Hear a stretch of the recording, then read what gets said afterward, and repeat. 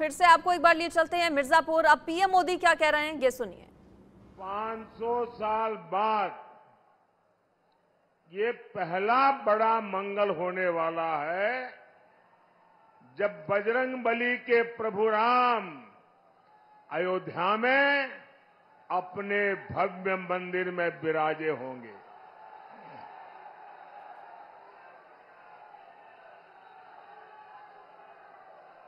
और ये इतनी बड़ी खुशी है, इतनी बड़ी खुशी है कि शायद हम सबसे ज़्यादा बजरंग बली खुश होते होंगे। भाई बहन जरा मेरे एक सवाल का जवाब देंगे आप? मेरे एक सवाल का जवाब देंगे आप लोग? आपकी आवाज़ नहीं आ रही है। मेरे एक सवाल का जवाब देंगे। 500 साल बाद अयोध्या में भव्य राम मंदिर, बजरंग बली की खुशी, ये मंगल अवसर किसके कारण आया? किसके कारण आया? किसके कारण आया? किसके कारण आया? ये पुण्य काम किसने किया? ये पुण्य काम किसने किया? आपका जवाब गलत है।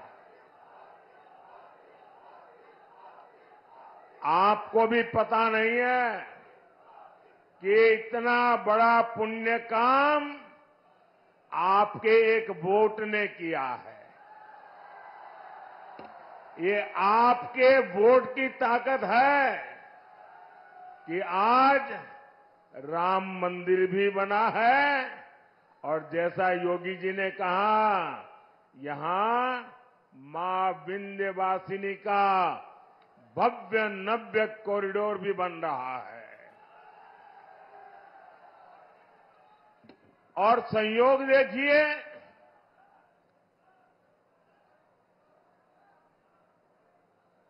चार जून को भी बड़ा मंगल है। ये जो कुछ नौजवान चित्र लेकर के आए हैं, वो हमारे साथी कलेक्ट कर लेंगे।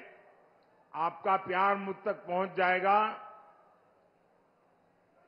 उधर भी दो लोग हैं, जरा ले लीजिए भाई।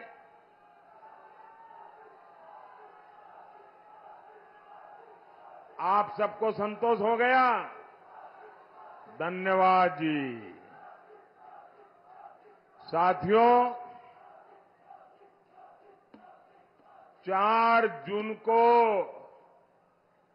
बड़ा मंगल के दिन। फिर एक बार, फिर एक बार, फिर एक बार,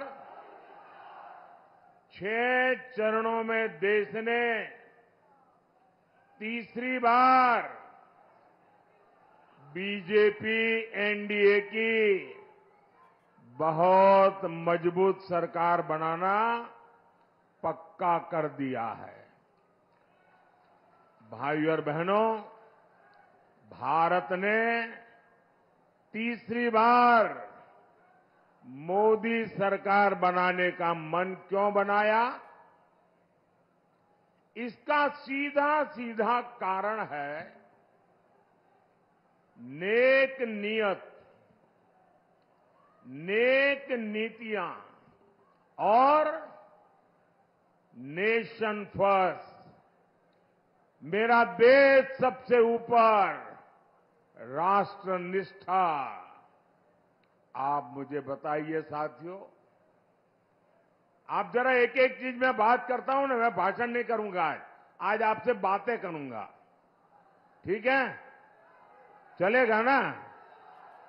आजा आप मुझे बताइए, जरा सोचिए। आप अपना घर बनाते हैं और घर बनाने के लिए किसी मिस्त्री को लगा देते हैं ये नारे वगैरह बताई बताइए लेकिन बीच बीच में जब जगह हो न, तब बुलाइए। ठीक है? और फिर एक जून को भी करना पड़ेगा, चार जून को तो बहुत ज़्यादा करना पड़ेगा। तो थक जाओगे। अच्छा हम अपना घर बनाते हैं, हम अपना घर बनाते हैं, और एक मिस्त्री या किसी काम करने वालों को तय करते हैं। क्या कभी कोई सामान्य मानवी भी अपना घर बनाने के लिए जो मिस्त्री रख लें, एक महीने के लिए ये मिस्त्री काम करेगा, दूसरे मसरे दूसरा मिस्त्री आएगा, तीसरे महीने तीसरा मिस्त्री आएगा, चौथे महीने चौथा मिस्त्री आएगा तो घर बनेगा क्या? घर बनेगा क्या? जो घर बनेगा वो रहने लायक बनेगा क्या? आँखों को अच्छा लगे ऐसा बनेगा क्या? वो घर किसी को दिखाने लायक बनेगा क्या?